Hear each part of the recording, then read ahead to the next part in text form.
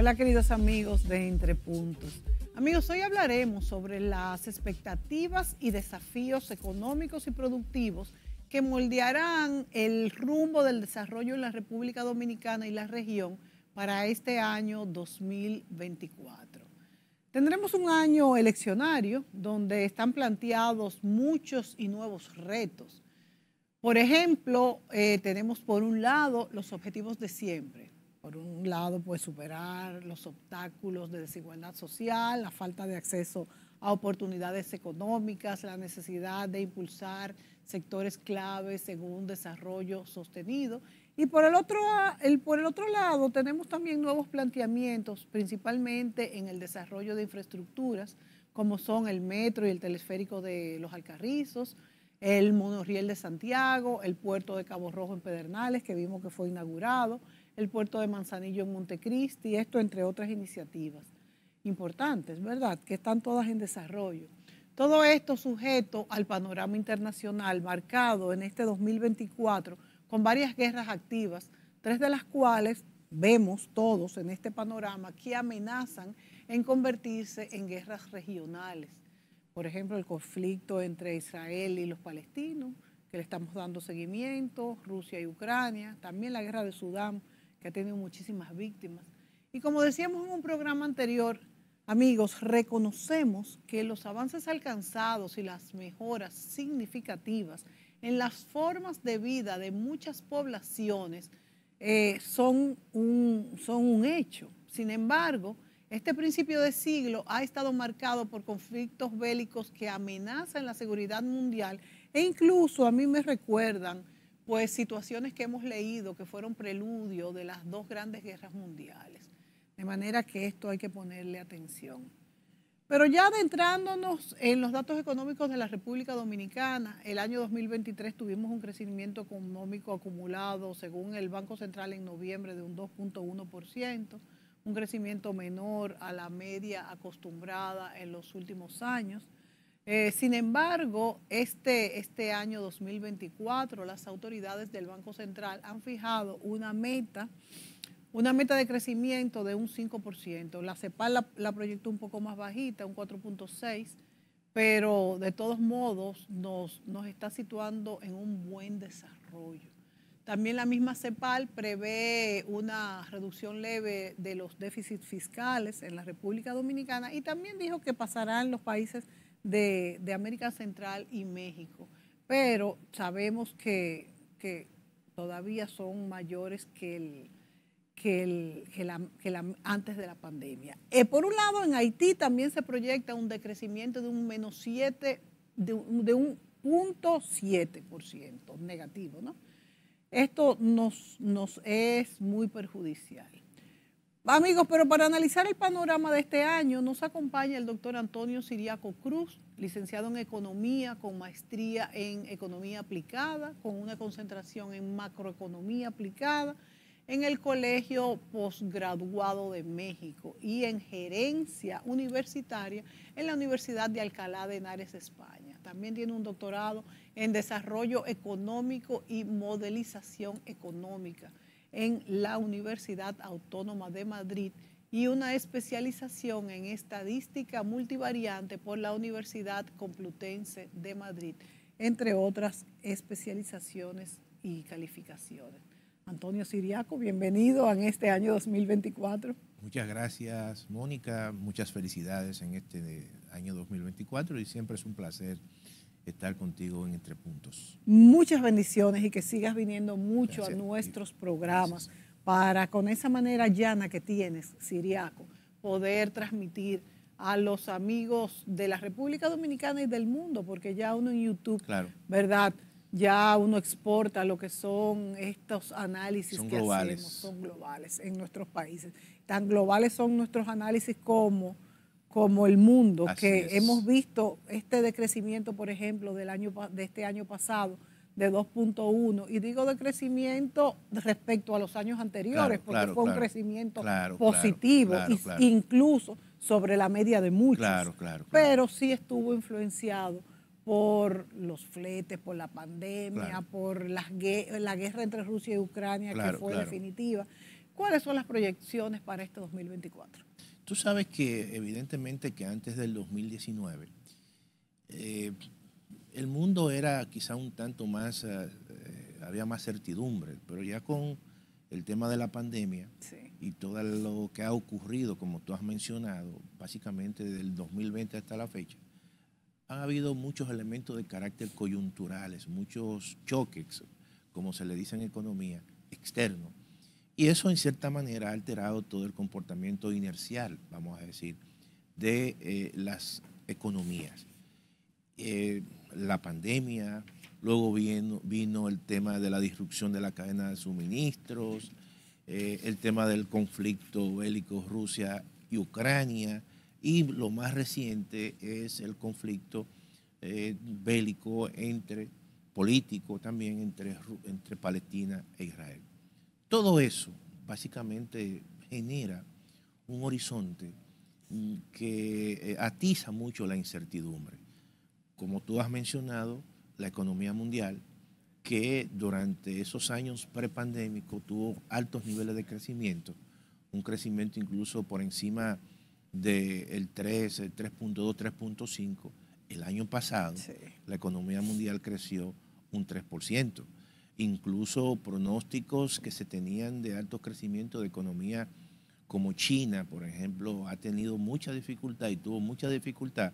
E incluso a finales del año 2023 en China se habló hasta de un proceso de deflación. y, hubo con la quiebra también. Y, con la quiebra incluso de Evergreen, eh, o Evergrande, ¿no? Como, ¿Por qué? Porque eh, hay también problemas internos.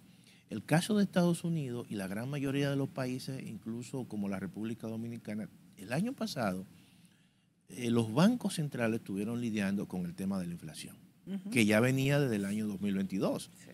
La inflación en el año 2022 llegó a su punto más álgido en el caso de abril del 2022 a 9.64. Y todo eso implicó un cambio de postura de los bancos centrales, de políticas monetarias expansivas a políticas, claro, a políticas monetarias mucho más restrictivas. Eso eh, indujo a incrementos en la tasa de interés y como consecuencia, claramente, todo eso afectó dos variables importantes del crecimiento de la economía, que es la inversión privada y el consumo privado. ¿Era previsible esta, este decrecimiento de la economía por, por, la inflación? Claro, no, y por esas políticas se estaba combatiendo, como los oh, bancos centrales tienen como una meta suprema, que es la inflación, entonces lo que le importaba era una convergencia de ese número a un 4%. ¿Cuánto creció Estados Unidos? ¿Con cuánto cerró? Eh, Estados Unidos, déjame decirte que al margen de todo, tuvo una especie, como se le dice en economía, un aterrizaje suave. Sí, tuvo, un aumento de, puestos de trabajo, claro, por ejemplo. Claro, creció incluso eh, mucho más de, los, de lo previsto. Siempre se hablaba de una recesión, pero no llegó a ninguna recesión. Creció evidentemente alrededor cercano al 2%. Y sin embargo... Que en una economía como la de Estados Unidos claro, muchísimo. Claro, que incluso fue un crecimiento menor que en el año 2022. Sin embargo, mantuvo un altísimo nivel de creación de empleo. Por lo tanto, incluso en Estados Unidos el año pasado, la tasa de desempleo fue alrededor de 3.7, pleno empleo. Por lo tanto, no se puede decir que Estados Unidos tuvo un año malo. O sea que fue tan buen desempeño como el que tuvo Trump en su momento. Como, el que, como el que hubo en ese momento, incluso en el año 2022 y 2021. Entonces, sin embargo, eh, otras zonas importantes no tuvieron ese desempeño. Por ejemplo, Europa tuvo un crecimiento bajísimo como, como bloque. Y todo eso hizo que la economía mundial tuviera un crecimiento en la vecindad del 3%, cuando en el 2022 había crecido un 3.5%. Eso claramente, eh, esa, esa, esa, reducción del crecimiento de la economía mundial, eh, combinado en el caso dominicano con políticas monetarias restrictivas que incrementaron mucho la tasa de interés y afectó la inversión privada y el consumo privado, todo eso ralentizó el crecimiento de la economía dominicana y terminó básicamente en la vecindad del 2.5, que como tú has dicho muy bien, Mónica, es un crecimiento, fue un crecimiento positivo por encima del promedio de América Latina, que creo que fue 2.1, 2.2. Sin embargo, no es el crecimiento potencial de, la economía dominicana. Generalmente cuando tú te acostumbras a un crecimiento en el 5%, 6%, tú evidentemente sientes cuando la economía, en esos casos, aún teniendo un desempeño positivo, relativamente no se puede decir que es una catástrofe, pero tú lo sientes así, porque tú vienes de un nivel muy alto. Entonces la República Dominicana, por esas razones, eh, yo creo que tuvo ese desempeño de ese crecimiento. Ahora, una vez ya alcanzada la meta de la inflación, que incluso la información más reciente del mismo Banco Central indica que la economía eh, ya a final de año convergió a un nivel de inflación de 3.7, por debajo incluso del 4%. Ya tú teniendo esa, eh, esa premisa, esas condiciones dadas, el año 2024 eh, están dadas las condiciones para que el mismo Banco Central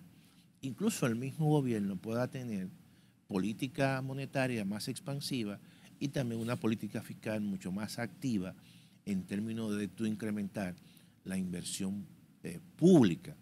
Y cuando tú combinas esas dos variables, claramente a nivel interno, las proyecciones que hay desde el Banco Central, el mismo gobierno, que son las más optimistas, porque siempre proyectan un crecimiento potencial, hasta los organismos internacionales que en el peor de los casos te hablan de que la economía dominicana va a crecer 4, 4.1, estamos hablando de que todas las informaciones estadísticas indican que la economía dominicana, si se mantienen las condiciones internas, si no hay alteraciones, puede terminar creciendo este año en una horquilla entre el 4% y el 5%. Ahora, siempre hay que comenzar a hacer eh, eh, matices. Y hay que matizar bien el entorno internacional. Como generalmente el mundo de hoy es un mundo global y hay focos a nivel internacional en regiones determinadas que en cierta manera eh, son regiones donde se concentran importantes recursos naturales y eso altera en muchos casos mercados que son determinantes mercados de insumos, en el caso de los hidrocarburos, el caso del gas natural, del petróleo, del carbón mineral y en otros casos, por ejemplo, eh, insumos agropecuarios como el tema del trigo, el tema del maíz, el tema de las grasas comestibles y también algunos metales que son importantes en determinado tipo de industrias. Eh, y eso, mm, generalmente, esas regiones están en conflicto hoy en día. El tema de la Rusia y Ucrania. Bueno, eso está en, vamos a decir, latente. Eso está en una baja intensidad, pero está ahí. Y uno no está sabe. En desarrollo. Está, y uno no sabe en qué momento eso puede uh alterarse. los rusos están avanzando. Y, y, ejemplo de lo que tú estás diciendo es Siriaco en cuanto a las repercusiones de, esto, de estos commodities o materias primas importantes es cómo afectó esto a Alemania, por ejemplo, que, que tenía casi todo el gas natural de Rusia. La eh, dependencia. los granos a, nivel mundial. Alemania, déjame decirte que bueno que tú pones ese tema, porque en el año 2023, una de las razones por la cual la Unión Europea como unión terminó con un crecimiento muy bajo, por debajo incluso del 1%, fue que esa locomotora tradicional que ha sido Alemania, Alemania por primera vez eh, eh, estuvo en un proceso recesivo. Y Alemania incluso por primera vez durante los últimos 30 años dejó de tener un excedente comercial, precisamente porque eh, fue uno de los países, y es uno de los países con una altísima dependencia del gas eh, natural. Que se le ha criticado, se le ha criticado. Por ejemplo, el mismo Olaf Scholz, que, se dice que fue partícipe de esto y que se le, Estados Unidos lo criticaron mucho. Ahora, ¿Hasta qué punto es criticable? Porque le salía mucho más barato también. No, no, Hay que, pero- lo que pasa pero- es que no se pueden poner los huevos en una sola canasta y esto no debe servir a nosotros. Claro, de- claro. Era un- de- es, un de tema, es un tema de negocio, pero también es un tema de que, de que la dependencia misma nunca se pensó que los rusos iban a invadir a Ucrania o iban, eso iba a afectar y entonces generaron una dependencia. Y por eso es, como tú has dicho, tú no puedes eh, concentrar todos los huevos en una canasta, porque siempre hay un elemento que en un momento determinado te puede afectar. Sí. Y eso eh, le ha afectado de forma bastante fuerte a Alemania. Eh, incluso en Alemania hoy en día hay mm, problemas de carácter ya de eh, resistencia al mismo gobierno, producto del manejo que ha habido durante los últimos años en ese aspecto. sí, sí. Y eso es un elemento, tuve, que eh, ha impactado a esa zona en términos de incrementos en los precios, por ejemplo, de los combustibles, en el precio de la electricidad. En Y un país eso- frío donde, donde ese Claro. invierno tembló Claro. todo el país porque decía, bueno, pero ¿cómo vamos a obtener todo el gas que necesitamos y a qué precio? Claro, Entonces eso nos hace transportarnos de nuevo a la República Dominicana, Siriaco, y ver cómo, está, cómo están nuestros suplidores, Claro. a quienes estamos amarrados, a quienes estamos eh, con, con nuestras compras, qué estamos produciendo en nuestro país, cuál es eh, el, el- el costo. ¿Verdad? De, de esos, de esos socios que tenemos. Y también podríamos mencionar dentro, dentro de este tinglado, fíjate que vamos, vamos desde afuera adentro y desde adentro sí, afuera, claro. porque es que es que, que el mundo es así, es, es un mundo, es un mundo Claro, complejo, es un globo, ¿verdad? Entonces, también está lo del problema de China con, con Taiwán y los, y los, y los microprocesadores, Chip, los, los microchips. chips. Cuando se ahora tienen elecciones en Taiwán, no sé cuál es, si la preferida es el, el- es la, es la presidenta del partido de gobierno, el Comin- que ya no es el Comintán. es decir, no, no es el Comintán, pero, pero en el caso de Taiwán, yo creo que, mira, mira qué ocurre, y, y- y China. Yo creo que cuando uno analiza lo que está ocurriendo hoy en el mundo versus lo que ocurrió cuando estaba la eh, ex Unión Soviética, Sí. En ese momento, el, el- realmente la confrontación era más política y mucho más ideológica. Sí, ahora es más económica. Ahora es la confrontación mucho más económica. Y eh, el, el actor importante, los actores importantes en ese momento estaba Estados Unidos con Rusia, pero ahora está China. Entonces, la cosmovisión de los chinos ahora mismo no es generar conflictos bélicos. Todo lo contrario. Y es todo lo contrario. Por lo tanto, gane quien gane en Taiwán, yo creo que los chinos van a ser sumamente cuidadosos. es verdad. ¿eh? ¿Por qué? Y además por el hecho de que la mayor inversión extranjera que hay en China proviene de, de Taiwán. Fíjate cómo son las cosas. Por lo tanto, hay No un- le conviene. Y no le conviene. Hay todo un, eh, una- una- de, de forma incluso comercial, hay toda una integración con, con- con Taiwán. Por lo tanto, los chinos van a ser muy cuidadosos. Fíjate que en esos procesos globales y en esos conflictos bélicos, está Estados Unidos, pero no está China. Sí. China Y, se cuida. y los chinos han estado avanzando en todo el aspecto comercial y yo creo que eso le ha quitado a los norteamericanos todo el hecho de involucrarse en conflictos bélicos, le ha quitado tiempo para pensar que el, que el problema es un problema de carácter económico. Sí, sí, sí. Y, y fíjate cómo están generando bloques y, es- y bloques muchas veces que tú lo consideras muy eh, heterogéneos en términos incluso hasta de la cultura, el pensamiento político. Pero los chinos están impulsando un bloque y están agrandando el bloque BRICS como un mecanismo de generar una concentración y una especie, vamos a decir, de control. ¿Dónde están los recursos naturales que ellos pueden utilizar para los próximos quizás 50 años? Que lo han estado haciendo y, de hecho estado la década de, de- de- de los 80 o 90 fue que tuvo América Latina un crecimiento Claro, estrepitoso gracias sí, claro, a los compras de los chinos China. y parte incluso de los años de, los años 2000. Entonces, Sí, ¿qué ocurre? sí, sí, sí. Eh, hay que ver eso y ver que el tema económico es un tema que en- de una forma u otra, y todo el tema geopolítico está alrededor de controles de recursos naturales. Pero entonces a China no le conviene eh, eh, la famosa invasión a Taiwán. No, no, no, no le conviene. Que no le conviene. No le conviene, porque al final eh, su objetivo es, como dicen, desglobalizar y dentro de esa desglobalización ganar espacio en términos económicos, hasta incluso que es quizás el punto más difícil, y será el punto más difícil que tú ves, sería destronar el dólar como una moneda de, círculo mundial. Al final, cuando tú eh, tienes un dominio de la moneda mundial, tienes el dominio prácticamente de todo el sistema monetario.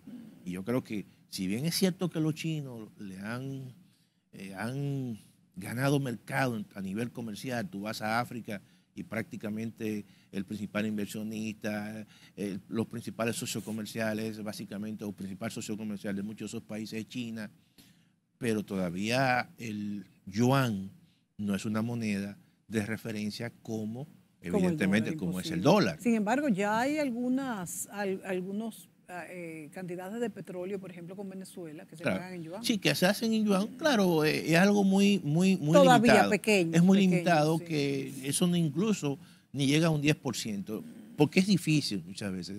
Todo el sistema monetario y financiero en el mundo y todos los sistemas de pago están en función, evidentemente, del dólar. Es iriaco, pero entonces tú crees, haciendo un, así, abogado del diablo, que a la misma China, si nos vamos a lo económico, a la China continental, le conviene que Taiwán siga siendo capitalista? Bueno, porque al final en China las relaciones son capitalistas. No, pero un capitalismo de Estado. De, Estado. Pero ya la eh, pero Taiwán es un, pero está más abierta al mundo Taiwán y como quiera, si las mayores inversiones en China continental son, taiwanesas, pues le conviene que siga siendo como un puente, que Taiwán siga siendo como un puente, aunque eh, el sueño de Deng Xiaoping eh, de, dos países, dos sistemas, un, país eh, también hasta cierto punto se ha aplicado ya en China, por ejemplo Hong Kong, cuando... Mira, Mónica, el, pragmatismo asiático es, interesante, porque uno no sabe hasta, hasta qué punto y hasta dónde y cómo eso va a terminar. Sí. Porque es un esfuerzo sencillamente de cómo tú generar un proceso que por inercia económica llega un momento que se dé un proceso, y eso pienso yo, que es lo que aspiran los chinos, a que sea un proceso sin trauma de integración. Es decir, llega un momento en que las economías económicamente están tan integradas de que prácticamente el ciudadano claro, claro, va claro, a, determinar que una cosa es lo mismo que la otra. Y, eso es interesante porque eso es un nivel de pragmatismo asiático, que han experimentado ya. Que dentro de China se ha eh, dado, con, esos puntos que tomó Deng Xiaoping para ser capitalistas dentro de una economía. Y déjame decir, o sea, la China, la China interna es una China, una China compuesta por más de 53 eh, grupos eh, étnicos y etnias, idiomas, idiomas y, y hay eh, budismo. Que si hubiera tenido democracia, hace rato que estuviera dividida. China no puede tener democracia, es un país demasiado grande. La democracia generalmente en países tan complicados y tan heterogéneos no dan resultado. No dan resultado como un mecanismo, porque si no, eh, pasa como lo que ocurrió en la Unión Soviética. Cada quien va a tener su propio espacio, sus propias... Eh, eh, su propio eh, eh, territorio, sus propios idiomas, entonces de un país donde pueden haber quizás 50 etnias, van, pueden haber 50 países. De hecho, de hecho los chinos tienen dos, dos grandes regiones que son pro-independentistas, que son los budistas que tú mismo mencionaste. Y, y, los islámicos. Claro, sí, hay una, hay una región donde y, y, con una población bastante que puede ser un país y, han podido mantener ese equilibrio, evidentemente. Y, el, y, la clave de eso ha sido eh, el crecimiento económico. La verdad es que los chinos se han manejado muy bien, porque incluso hasta en la política del hijo único, que fue revocada y, hasta criticada, le permitió el desarrollo y sacar a, 400 millones de la pobreza. Porque tú tienes que tener un control, obviamente, en un momento determinado de la población, aunque después eso se revierte porque al final llega un momento. Es como la tasa de cambio. Claro. Es como, perdón, la tasa de interés, De interés, lo que claro. estábamos hablando antes. Al final, después, tú necesitas de una población joven que es la que te va a renovar esa capacidad de crecer. Pero mientras, Mientras, en un momento determinado, tampoco tú puedes permitir que la población sea un hándicap en términos de un descontrol. Ellos mantuvieron eso y ahora han relajado un tanto esa política porque saben que ya la población sea, está envejeciente y entonces necesitan una población mucho más joven. De manera que ese es el mundo de hoy. Pero déjame decirte lo siguiente, Mónica, la República Dominicana vámonos a la pausa y entramos en la República Dominicana y lo comparamos Claro. con cualquier gigante. No, que y que quieras. nosotros no estamos eh, a expensas a eso que ocurre en el entorno. No, y por ejemplo, eso, al fin y al cabo, lo de los microchips, no es que nos va a, a influir tanto a nosotros, no deja de influir. Pero en un momento determinado pudimos establecer una política pública que si lo hubiésemos hecho quizás no hubiese Eso beneficiado. sí es verdad. Nos vamos a la pausa, volvemos enseguida.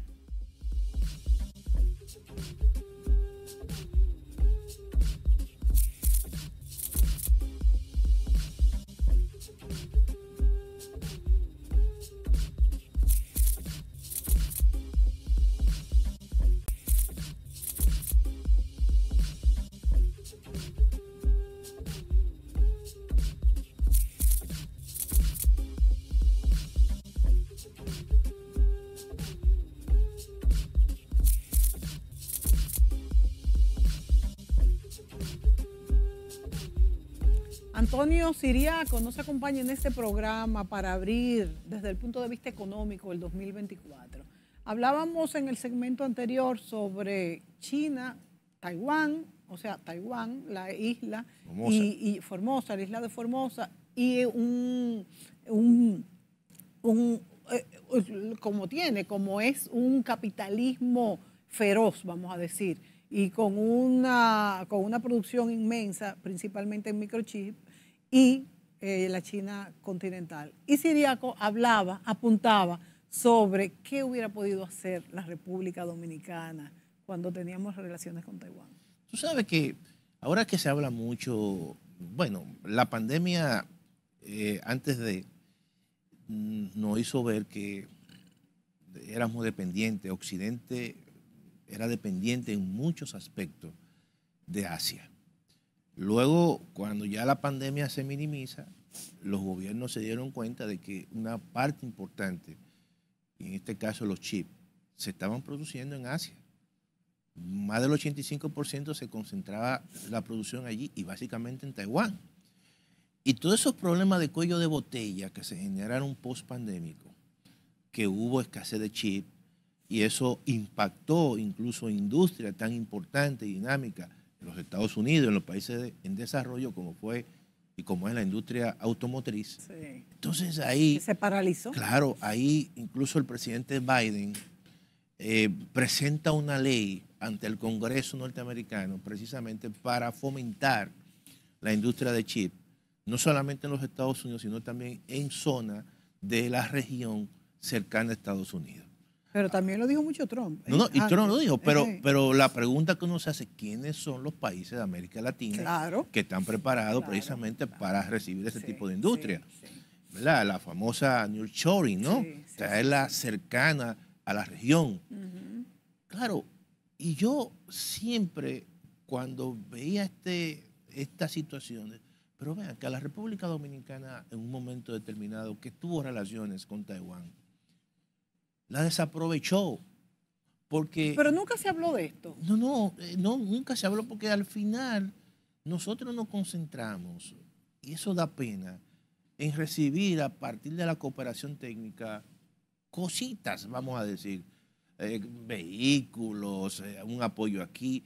Y yo creo que nunca, y eso evidentemente se ve, a ningún gobernante se le ocurrió enviar a 200 jóvenes de las principales universidades del país a estudiar, a concentrarse en la Sí, fabricación de chips, sí. lo becas, y van allí, se forman. Y hoy prácticamente, después que se rompen las relaciones, estamos con China, muy bien, pero vemos una gran oportunidad desaprovechada. Sí, señor. Porque hoy en día, si la República Dominicana hubiese sido inteligente, hubiera sido el momento. Hoy hubiese tenido la capacidad de convertirse en, el verdadero logístico. Claro, en el Caribe. Y hubiésemos aprovechado toda esa situación que hoy hay, donde hay una concentración, hay una guerra de chip, y entonces hoy se habla de tener cerca de los principales mercados industrias con alto contenido tecnológico, zonas francas, con un mayor valor agregado precisamente en la fabricación de chips para los principales mercados. pero no tenemos la capacidad humana. Entonces, pero la pudimos aprovechar porque tuvimos una relación con el país que hoy concentra prácticamente el 85%. Y una relación bastante cercana. Claro, de la producción de chips. Entonces yo creo que todo eso a nosotros nos tiene que poner a reflexionar en función de cómo podemos aprovechar países con mayor eh, capacidad, con mejores eh, métodos de enseñanza y así básicamente vincular a la cantidad de jóvenes, las becas incluso. Hay que ver más allá, hay que ver más, allá, del, momento. del momento. Tú que estás en economía y estás en educación. Claro, claro. Entonces, yo creo que, que nosotros perdimos esa gran oportunidad. Ahora se nos, se nos, puede, se nos hace difícil. Porque, porque, ¿qué pasa hoy en día, Mónica?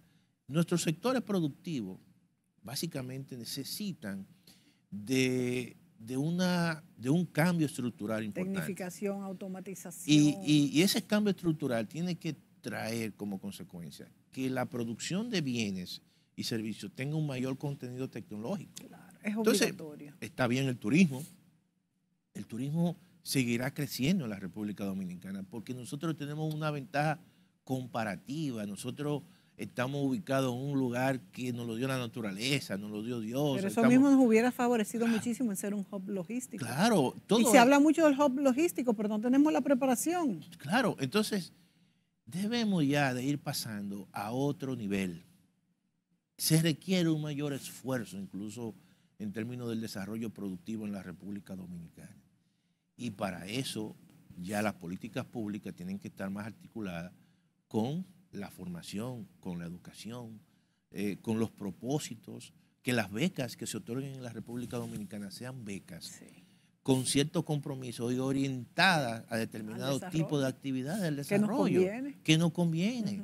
Entonces, y eso concomitantemente con esas becas, si tú vas induciendo a políticas que vayan transformando el aparato productivo, llega un momento en que los chicos, cuando vengan de allí, que duren dos o tres años, puedan encontrar trabajo. Claro, claro, pero claro, si pero si no se van. Pero, claro, como está ocurriendo en muchos casos.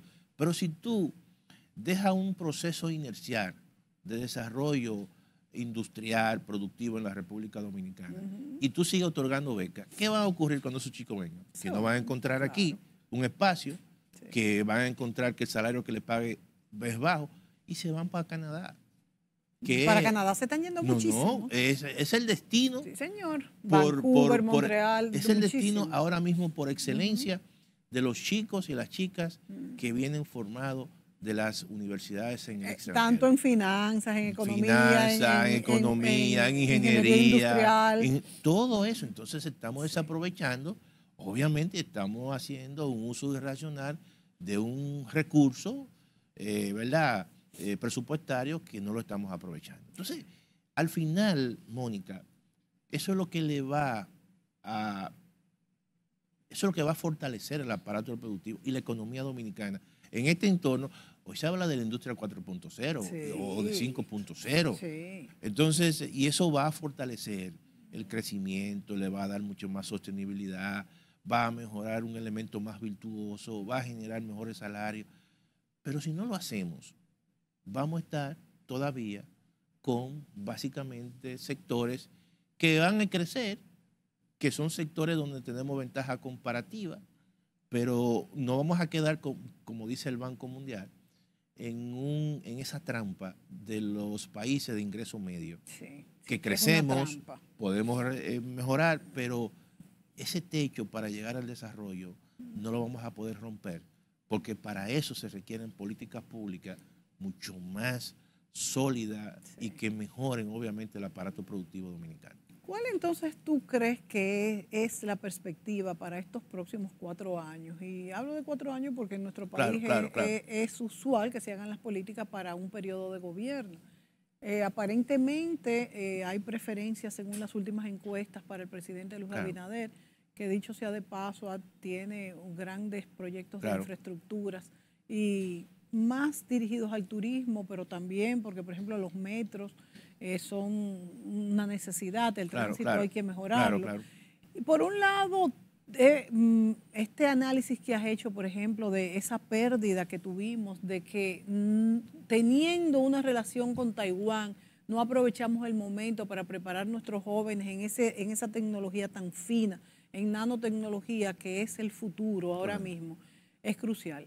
Pero por otro lado también vemos, Siriaco, y no lo podemos obviar, que nuestro país está creciendo en, eh, eh, visualmente, por decirte de una manera que lo apreciamos. Eh, el Santo Domingo y el mismo Santiago y algunos otros focos son una cosa hoy de lo que eran hace un tiempo. Pero sin embargo, todo está muy caro en Santo Domingo. Eso mismo, esta misma inflación que se ha querido controlar, que según los organismos internacionales y el Banco Central se ha controlado, tú mismo has dicho que está por debajo de cuatro pues dan pie a de que ya se pueda soltar la economía un poquito y poder otra vez tomar prestado a cierto, a cierto, a, cierto crédito que no sea tan, tan lesivo.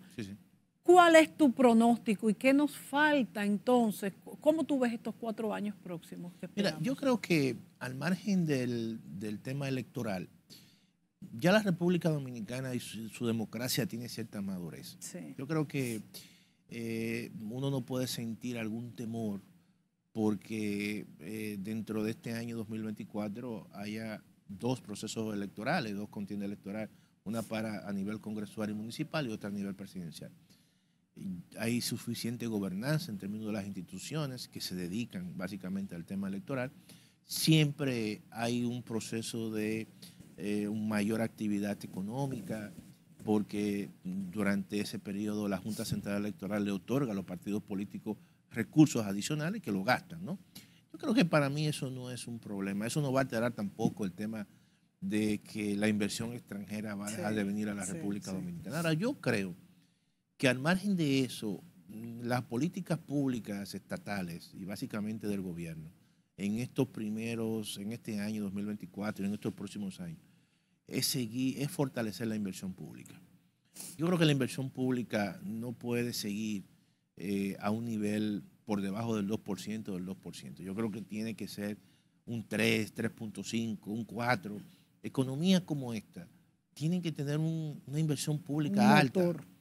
Eh, tú has dicho que visualmente ha cambiado la República Dominicana y mucho más las zonas urbanas, más construcciones, eh, tenemos un metro, tenemos, se está haciendo un monorriel en Santiago, se hizo un, un teleférico como un sistema de transporte, hay que seguir mejorando los sistemas de transporte, hay que seguir ampliando las líneas del metro.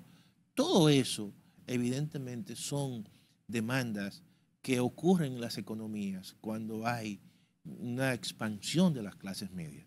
Las clases medias necesitan que sus servicios públicos mejoren y además que el hecho de que tú recibas en la República Dominicana, ya se habla de 10 millones de visitantes, también eso impulsa a que los servicios, las carreteras, el tránsito esté más organizado y los servicios obviamente estén mucho más, sean mucho más eficientes. Y yo creo que eso son políticas públicas que necesariamente es fruto de esa expansión de la clase media. Sí, y hay que concentrarse. Yo hago mucho énfasis en eso. Sí, sí señor. Eh, y, y, y, la, y la, la, inversión pública tiene mucho que ver en ese sentido. Mucho. Por lo tanto, yo creo que eso es un, un elemento importante. Otro elemento que yo creo que puede eh, y sin pasar de ese elemento, vamos a, subrayarlo, la expansión de la clase media es algo que el gobierno, de, sea cual sea el elegido para el próximo periodo, tiene que cuidar.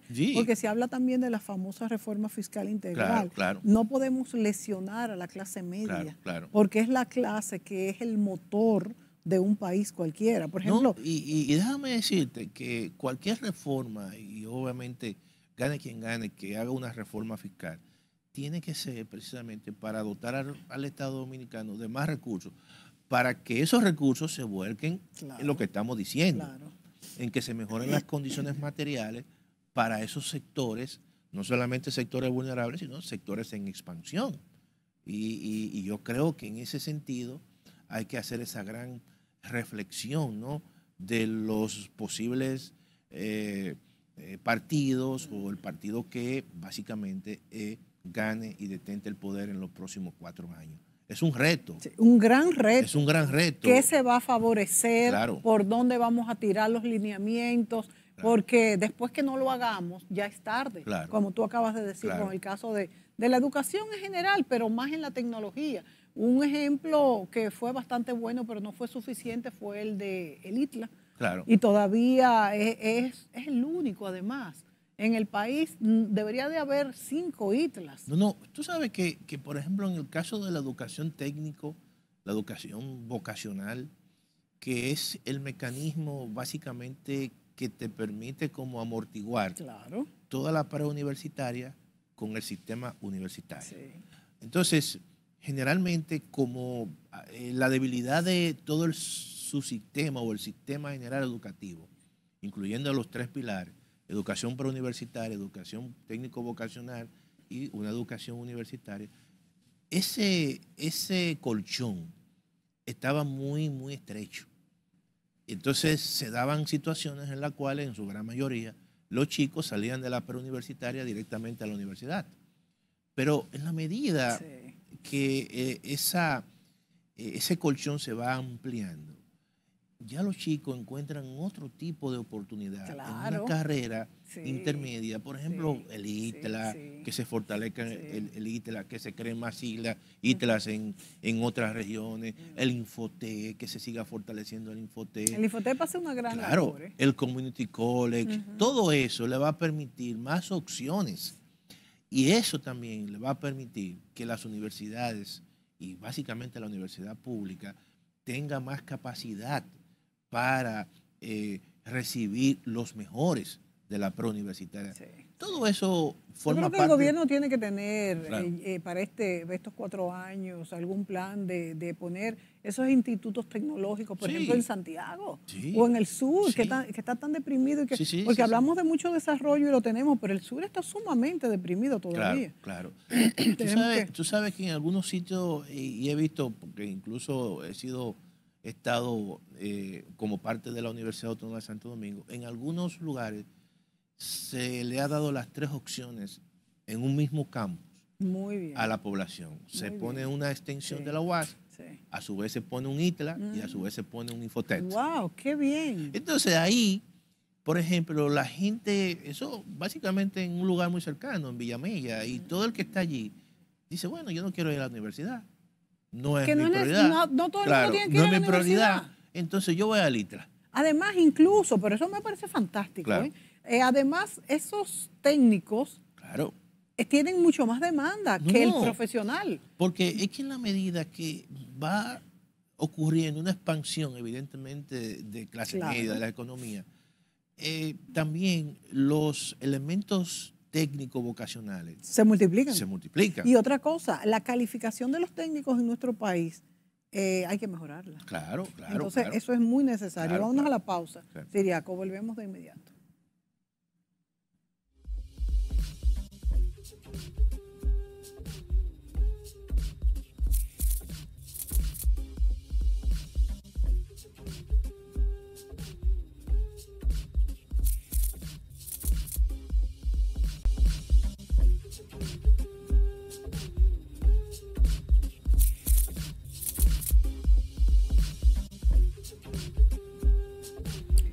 Antonio Siriaco, las veces que yo he salido a preguntar a la calle cuáles son las mayores preocupaciones de la población dominicana, me han respondido dos cosas principalmente. La delincuencia, o sea, la seguridad, y el alto los altos precios de, de, los alimentos principalmente. Claro, claro, ¿A qué se debe esta, esta inflación? ¿Cómo manejarla? ¿Qué se puede hacer? eh, por el gobierno, los productores? ¿Cómo manejar esta parte? Mira, tú sabes que yo, yo creo, a, mí me llama mucho eso la atención y, me he puesto a estudiar, porque la gente tiene que saber, cuando el Banco Central habla de que la inflación anualizada eh, estuvo por debajo del 4, 3.7, lo que se está refiriendo es a, un, a precios promedios de, de una canasta que está compuesta por 364 productos. Dentro de esa canasta hay productos que suben, otros bajan, y el Banco Central lo que calcula es el promedio. Pero eso no quiere decir que hay productos que todavía siguen altos. Entonces, cuando uno descompone esa canasta por grupos de bienes y servicios, están los grupos eh, de transporte, está el grupo de salud, está el grupo de educación y también está el grupo de alimentos y bebidas no alcohólicas. Ahí están todos los alimentos.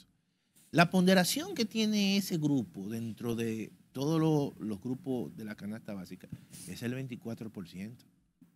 Entonces, cuando tú calculas los niveles de inflación del grupo de alimentos y bebidas, todavía está un tanto por encima de ese 4%. Eso significa que no todos los grupos convergen en, esa. Eh, en, eso. Por lo tanto, el más alto es, eh, bebida. Tiene la ponderación más alta. El grupo de, alimentos y bebidas no alcohólicas. Oh. Pero de alimentos. De alimentos, claro, sí, porque están los jugos. Entonces, eso significa que, hay que seguir, eh, claro, cada grupo y cada alimento tiene un mercado distinto. Ahí yo siempre he dicho que los, los precios suben por el ascensor y bajan por la escalera. Sí, no, definitivamente. Y a veces se quedan arriba. Claro, entonces lo que quiero decir es que en el caso de los alimentos, muchos de ellos generalmente bajan más lentamente que otros. Entonces ahí tú, tú tienes en esos grupos, tú tienes el arroz, tú tienes el pollo, esos dos productos son los que mayor ponderación tienen en todos los bienes y servicios de la canasta básica. Porque son lo que la gente consume eh, constantemente. Y el huevo viene del pollo, que Claro, entonces eh, cuando el precio del arroz o el precio del pollo sube, la gente lo siente, porque al final... Aquí en, República Dominicana lo que más se come es arroz, pollo y huevo. Claro, claro. Entonces, todo eso indica que hay que concentrarse mucho precisamente en ese grupo de alimentos y bebidas no alcohólicas. El gobierno recientemente acaba de establecer un proyecto de ley sobre tasa cero, importación de tasa cero, que es temporal. Pero yo siempre he dicho que para que sea muy efectivo, Mónica, generalmente el gobierno tiene que asumir alrededor de un 40 o un 50% de esas importaciones para asegurarse de que una parte de esos bienes que se van a importar de manera temporal lleguen a la gente. A buenos precios. Y a buenos precios. Y entonces eso sencillamente, el que el, privado que vaya a importar y vea que el Estado tiene una parte, ya no podrá especular. Va a ser una competencia, Y, no, no va a especular. E, eso versus la producción nacional, ¿cómo estamos? Entonces, evidentemente, concomitantemente hay que darle más apoyo a la producción nacional. Yo creo que he visto tasa cero, pero, pero, pero no siempre, siempre Siempre los, los, las importaciones tienen que ser temporal para que no afecten a la producción. Claro, claro, claro. O sea, eh, tú no puedes establecer programas Una importación por no, siempre. porque tú vas a quebrar entonces claro, la producción nacional. Claro, claro. Por lo tanto... Y hay que tener un balance muy fino entre qué es lo que se está importando y qué es lo que se está produciendo. Y no solamente eso. Eso tiene que estar medido constantemente. Sino que los ministerios, en este caso las entidades agropecuarias, medir los tiempos de importación. Porque tú no puedes autorizar importación en un momento donde hay una cosecha, que está. Claro. Entonces, todo eso hay que planificarlo, planificar los tiempos de importación. Y trabajar con los productores. Trabajar con los productores y que esas importaciones, en caso de que se hagan, una parte la haga el Estado, que es la garantía, y que evidentemente sea en un horizonte temporal que eso tenga un límite. Sector de construcción, ¿qué, me dices? Tú sabes que el sector construcción, hay que decir lo siguiente, es un sector que estuvo muy afectado eh, por todo el tema, es muy sensible a las tasas de interés. Sí, muy sensible. Cuando las tasas de interés suben, eso ralentiza ese sector. Y si a eso tú le sumas el hecho de que los precios de los materiales de construcción fueron muy impactados, claro, fueron muy impactados. Entonces, ese fue uno de los sectores que en el año 2023, precisamente en febrero del año 2023, el Banco Central fue el primer sector que le otorgó estímulo por 21.400 millones de pesos. Porque ese sector estaba creciendo de forma negativa. Y evidentemente... Que es un sector que dinamiza muchísimo. Y todo el tema de la tasa de interés. Por lo tanto, cuando tuve la composición de ese sector, básicamente un 40% del sector público y un, 70, y un 60% o un 30-70, 70 del sector privado y 30% del sector público. Entonces, cuando las tasas de interés suben, afecta bastante a ese sector. Entonces, yo creo que, claro, eso se ha venido cambiando, se ha revertido, pero fue un sector que fue impactado fuertemente por los movimientos al alza de la tasa de interés y también por el incremento de los costos de los materiales.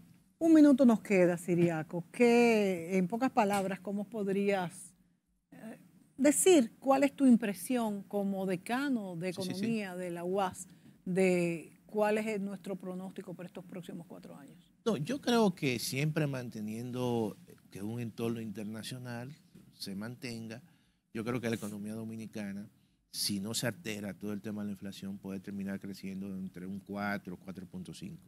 Eh, eso yo creo que lo puede hacer, pero yo siempre eh, tengo mucho cuidado porque el mundo de hoy es un mundo muy cambiante, muy cambiante y muy impactado. Más incierto. Y me preocupa, te lo digo de manera muy personal, la situación que está ocurriendo en, entre Israel y Palestina y toda la situación del Mar Rojo. Sí, señor. A eso, tú sabes que... Política y económicamente Esa parte, ahí se maneja el 16% de todo el comercio mundial. Eso impacta incluso desde los combustibles, petróleo, combustible de avión, esa zona. Inclusive el VIX, el eh, índice del miedo en los mercados bursátiles se ha disparado. Se ha disparado, hay también hay todo un, comercio eh, de granos que viene desde Asia hasta Europa y, y, la República Dominicana, si a eso tú le que sumas. Solamente la logística, que es distinto. No si tú le sumas la situación también que tiene el canal de Panamá, que se le está todo eso es un entorno que en cierta manera eh, hay que verlo con cuidado. Ahora, a nivel interno yo creo que están dadas las condiciones para que eh, las políticas monetarias sean más flexibles, para que las tasas de interés puedan bajar un poco y también para que el Estado dominicano tenga más capacidad para hacer inversión pública. Yo creo que esos son dos claves importantes para alcanzar un crecimiento de un 4%, un 4.5%. Gracias Antonio Siriaco, economista, por estar aquí con nosotros analizando estas perspectivas económicas que esperamos para el 2024. Ojalá sea un buen año para todos, para el país y para el mundo, porque recuerde que no vivimos solos. Estamos rodeados de, de, todo un tinglado de países que nos influyen directamente. Gracias a ti, gracias, gracias a ustedes amigos. Será hasta la próxima.